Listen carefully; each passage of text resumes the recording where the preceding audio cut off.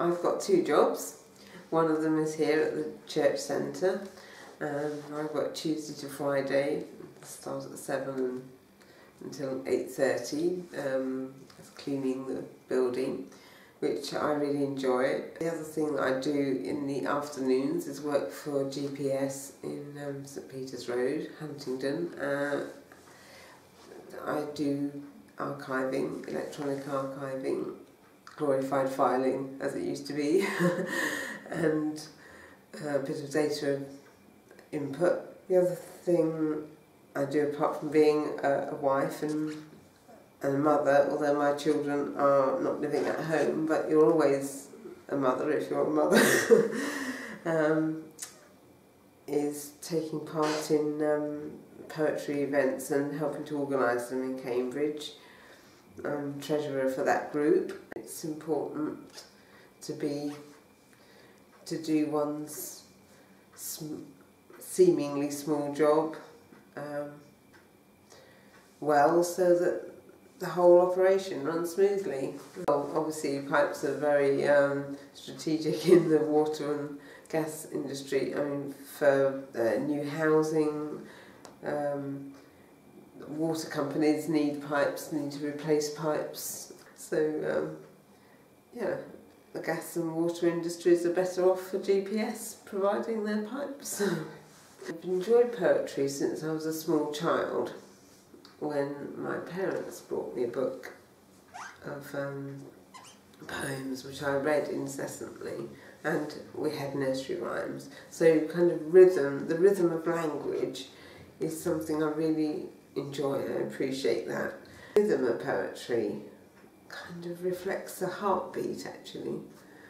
It's kind of based on the heartbeat. And it just resonates with people. If you can say something that they'll remember about life or which will mean something to them because they've um, maybe experienced that um, then that will stay with them. And it, it just has a magical kind of effect well, and then the Psalms, um, even Ecclesiastes, there's, a lot of poetry in that, and the prophets. If somebody thinks, oh yes, I know what she's on about, that really kind of hits home for some reason, then and can relate to it, it just feel makes us feel less alone if there's someone out there. I suppose the same is for novels really, that's why people read novels because um, they want to find other people who've experienced what they're going through, whether it's good or bad, you know.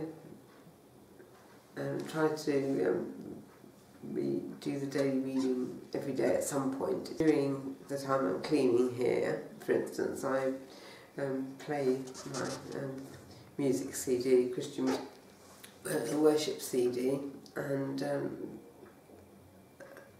pray for the activities that are going to take place in the church.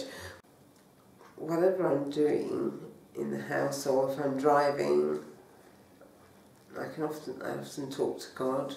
Hope to keep open to God during the day and ask God to kind of be in my thoughts and make my work useful and just enjoy his creation so much. So looking around I often thank him for um, the creation that I can see. Work, it would be great to stay in this job, um, but God knows, and if he wants to use me elsewhere, I guess he'll move me on. But I am enjoying finding this job manageable, the, the afternoon one and the morning one.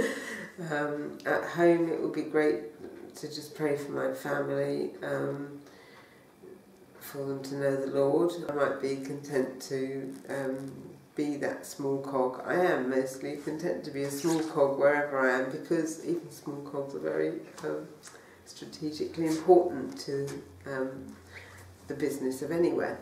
So as far as poetry goes, I would like to be able to write stuff that connects with people um, who don't know God with God in some way